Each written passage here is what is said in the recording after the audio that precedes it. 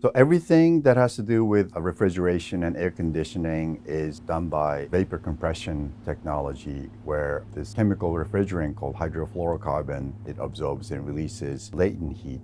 Except the problem is, is that uh, hydrofluorocarbon, it's contributing significantly to the global warming problem. And that's why we started thinking that we can make cooling devices by stretching nickel titanium wire. So we stretch it and it actually releases heat. And you unstretch, it's cooling its surrounding. But it hadn't been a prevalent phenomenon that was well known. So when uh, we first approached Department of Energy, they said, as far as we know, no such phenomenon exists. And so that's when we said, exactly, you should let us try it.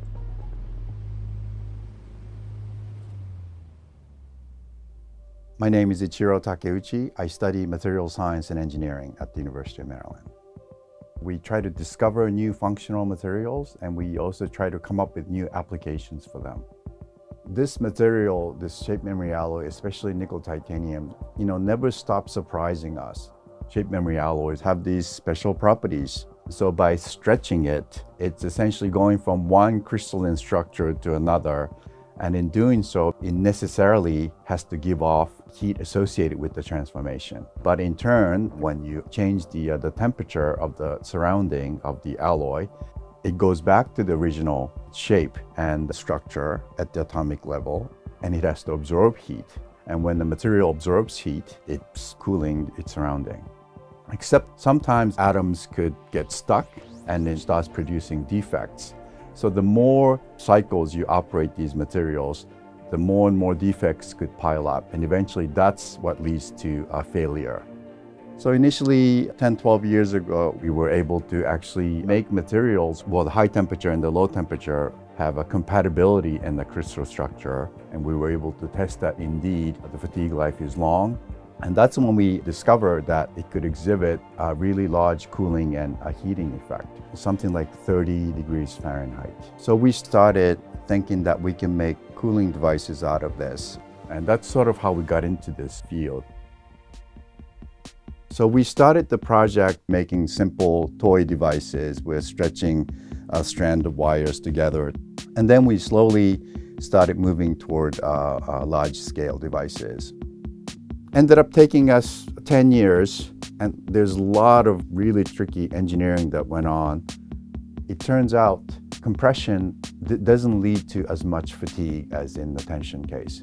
So we have hydraulic actuators that pushes on the shape memory alloy, which is held at the other end, and that's how it gets compressed.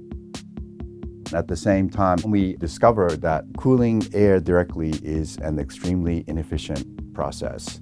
And that's why now we use water. During every cycle, we need to have water, you know, have it back and forth, back and forth in the device. But as long as you load it in the right configuration, you know, it could survive more than 10 million cycles. Those are important numbers because if you think about buying an air conditioner, that immediately translates to tens of millions of cycles. So we designed this rig in such a way so that we could test that and at the same time we could observe large uh, temperature change. And right now we've uh, demonstrated a cooling device with sufficient power so that now one can begin to think about uh, real applications. So there are different directions that we're pushing this technology. As long as we're working on nickel titanium, the force of the stress is simply too large. And in some instances, it requires hydraulics. And they're pretty inefficient. If you want to make a viable commercial product, I believe we need to switch to a different material. And it turns out there are a variety of other shape memory alloys. So one type is a copper-based shape memory alloys, some of which requires a lot smaller stress. We hope at that level uh, it's as efficient as the vapor compression. Climate change is real. Countries are taking on the challenge. But realistically, vapor compression will survive. What we can hope for, you know, there will be niche applications. something like wine fridge.